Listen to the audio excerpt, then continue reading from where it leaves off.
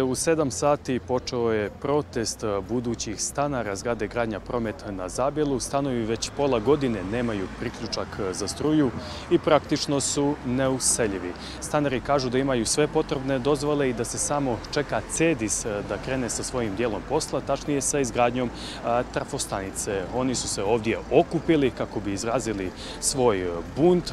Tu je nekoliko okupljenih stanara, tu su i predstavnici firmi protiv kojih protestuju, a također tu su i pripadnici uprave policije. Sa nama je jedna od predstavnica stanara. Predstavite se. Dobro jutro, ja sam Ivana Lopičić, jedan od kupaca u zgradi gradnje promet. Od kada čekate da se uselite u stanove? Koji je to mjesec?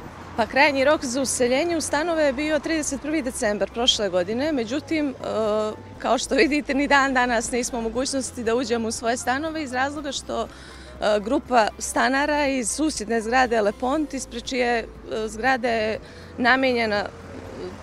namijenjeno da se izgradi trafostanica, protestuju i prosto ne dozvoljavaju CEDIS-u da počne sa radovima i izradi trafostanicu na koju bi mi trebali da se priključimo. Da napravimo retrospektivu, kada ste kupovali stan, jeste li znali da postoji problem oko trafostanice, je li vas neko uputio u to?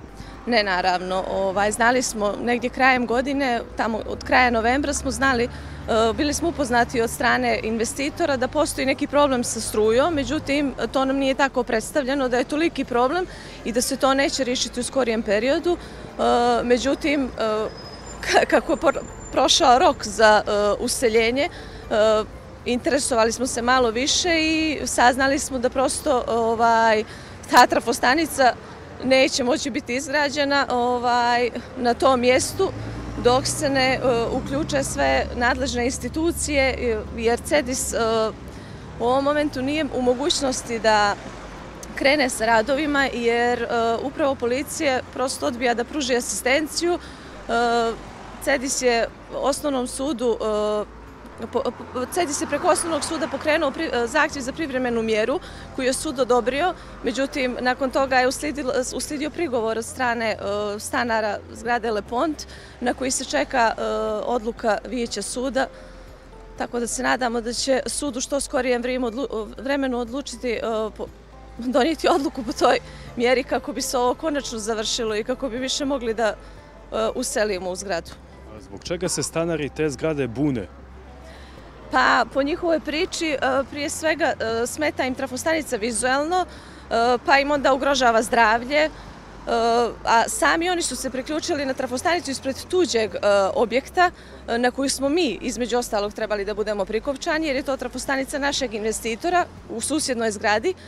Međutim, kako je ta zgrada napravljena prije možda, ne znam, mnogo ranije, prije tipa dvije godine, nisam sigurna. E, u tom momentu imali su oni i oni problem sa priključkom e, i njima je tad dat taj priključak, a nama ostavljeno da budemo priključani na trafostanicu ispred njihove zgrade na koju su između ostalog trebali oni da se e, priključe.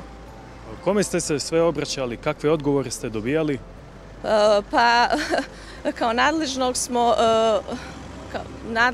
CEDIS-u smo se prije svega obraćali smo se investitoru koji Eh, se pozvao kao nenadležan, odnosno da nisu mogućnosti da riješe ovaj problem.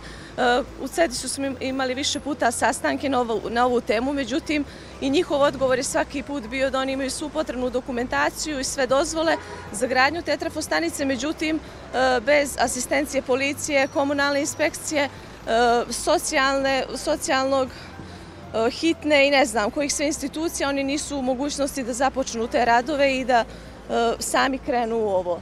Obraćali smo se također upravi policije koji su ovaj, također rekli da e, oni čekaju odluku suda po kojoj bi postupili i pružili asistenciju. U drugom slučaju oni isto nisu kao nadležni da, da obezbijede prostor i da CEDIS može da započne svoje radove. Gdje trenutno živite, u kakvim ste finansijskim problemima? Pa većina e, kupaca stanova u toj zgradi živi kao podstanari.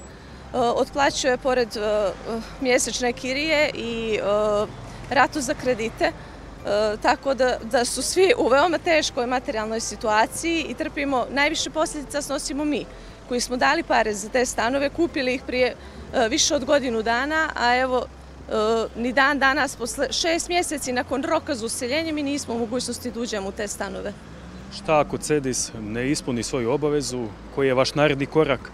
Pa svakako smatram da će morati da ispune na ovaj ili na onaj način. E, mi najavljujemo sljedeće nedjelje, utorak ili sridu, ponovno okupljanje, ali e, ako se ništa ne desi u ovih narednih pet dana, ali će tog puta biti ozbiljnije, planiramo zatvaranje e, bulevara, odnosno raskrsnice na bulevaru Svetog Petra Cetinskog i tu ćemo ostati sve dok se sve nadležne institucije koje su uključene u ovaj problem ne obrate i zajednički ne riješe ovaj problem sa trafostanicom. Hvala vam na izjavi. Hvala vama. Milice, toliko za ovo uključenje ispred CEDIS-a. Studio.